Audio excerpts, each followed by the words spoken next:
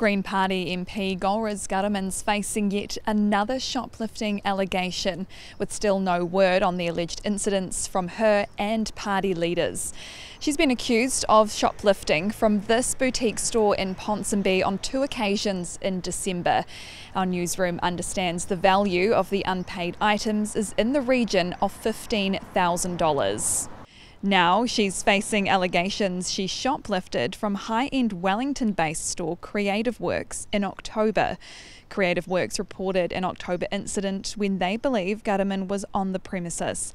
Police confirmed they received a report of shoplifting on October 26 from the store and that inquiries into the matter are ongoing. Ghahraman has returned to New Zealand after what the Green Party said was a pre planned overseas trip. She wasn't at her Auckland home yesterday when we visited and is yet to comment on any of the allegations.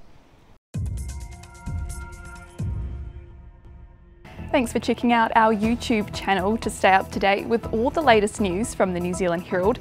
Click the subscribe button below or check out one of the videos here and head over to nzherald.co.nz for more details on these stories and more.